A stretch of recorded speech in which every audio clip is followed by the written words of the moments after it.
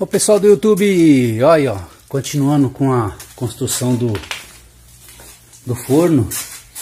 Aqui, ó, ontem, é, quarta, segunda-feira, que vocês viram aquele vídeo que eu coloquei que ele tinha riscado a parede tudo para poder começar a construir, ó. Fez a, o, a estrutura de tijolo, né? De tijolo baiano.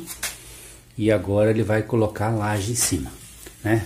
Vai uma camada de laje, né? De concreto em cima dessa, dessas vigas e depois ele vai fazer a circunferência do, do, do forno, né, com 1,10m. Aqui tem 1,50m por 1,50m, então o forno, a parte externa dele vai ter mais ou menos 1,5m, tá? E depois ele vai colocar um, uma camada de tijolo em volta para colocar o sal e o refratário. Aí depois do refratário encaixado, que ele vai começar a colocar é, levantar a cúpula do forno. Aqui, ó, como eu havia dito, é o molde da boca do forno. Esse ele vai encaixado lá, né? A chaminé vai sair nessa direção aqui, ó, na boca do forno. Tanto é que tem uma divisória aqui, ó, por dentro dessa estrutura para poder o peso maior vai estar tá ali na boca, porque vai ter a chaminé. Legal? Quando tiver com isso aqui tudo preparado, eu volto a mostrar para vocês é, concretando, então já pronto com o concreto em cima. Aguenta a mão aí. Ó, pessoal, voltei aí, ó. Que a laje já foi batida, inclusive tá, tá curando ainda, tá mole, Mas ele já tá sentando o tijolinho em volta. O que, que vai ser aí? Aqui, ó, é o tijolo refratário. Então, ó, ele tá mais baixo por causa da massa aqui, ó, do tijolo, né? Vai ter uma camada de sal sal mineral. sal mineral, né, que é dado para gado, né? Vai ter uma camada aí e o refratário vai ser assentado em cima desse sal. Aí você explica porque é o sal. É, o sal é para poder isolar, conservar, da isolar e conservar a temperatura em cima do refratário, né? Como o refratário é grosso, é, ele demora um pouquinho mais para chegar a temperatura lá embaixo no sal, mas o sal acaba isolando, né?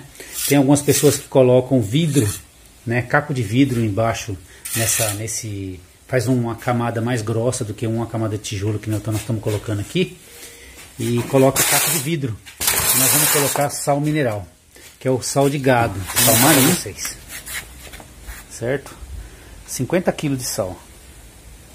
E aí o que sobrar eu vou dar para o pessoal que cria gado aqui, mas eu acredito que não vai sobrar não, talvez até falte. Esse aí é dado pro... E aqui está os tijolos refratários. Tem 80 tijolos refratários. Eu não construí a churrasqueira, o forno todo com refratário, porque cada tijolinho desse aí custa 8 reais. Eu comprei 700 tijolo comum. E aí você imagina se eu fosse fazer tudo de refratário, né? Ia ficar 5 mil reais só de refratário. Tudo bem que ia ficar o all concurso, né? Ia ficar excelente. Mas esse tijolo aqui aguenta tranquilamente, porque em olaria, normalmente o pessoal, para cozinhar, assar esses, esses tijolos aqui de olaria, é feito com, com tijolinho também. Então ele resiste bem, tá? E cada vez que você queima, ele fica mais duro ainda, né? Que é uma cerâmica. Beleza? Aguenta a mão aí que depois eu vou mostrar quando estiver passando o sal, tá? Ó pessoal, voltei aí, ó. Agora, ó, já rebocou por fora aqui, ó, a estrutura. E agora vai entrar o sal. Esses dois é o pedreiro. Um, o cara de cá é o forneiro. O outro lá foi o que construiu a casa. Dois irmãos aqui. São os especialistas em construção civil. E agora vai colocar uma camada de sal para colocar o refratário em cima. Dá um break aqui no trem. Ó pessoal. Tá espalhando o sal aí. Vai dar um, uns 2 centímetros mais ou menos de, de sal. Esse sal aqui tem a finalidade de espalhar o calor na pedra, né? Para poder manter a pedra, o calor dentro do forno. Ele vai servir de isolante térmico para a pedra refratária.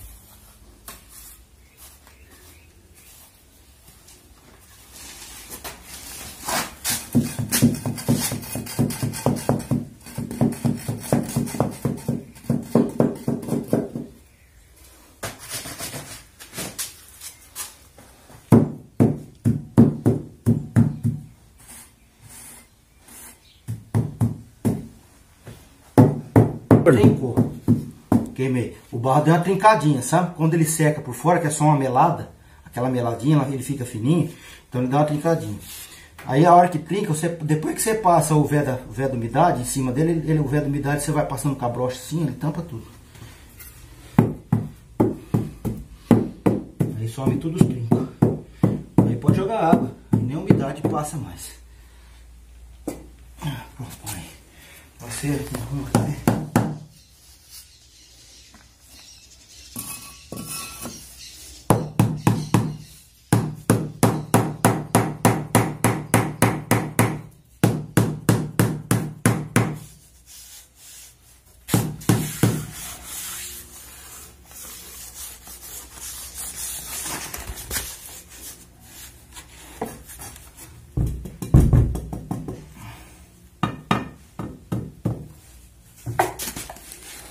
Aí pessoal, finalizada a base do refratário. Ó, ficou bem lisinho.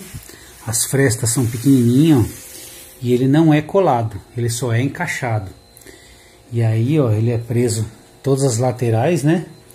E aí quando ele dilatar, ele vai prender mais ainda um no outro. Só espero que ele não levante, né? Se ele dilatar, mas eu acredito que não dilate. Beleza? Então tá aí essa segunda etapa do meu forno. Segunda-feira provavelmente ele começa a levantar o iglu. Legal? Dá o seu joinha, se inscreve no meu canal, um Engenheiro Interior. E não perca, semana que vem eu passo quando ele estiver construindo o iglu aqui. Beleza? Até o final desse processo. Um abraço, até mais, tchau.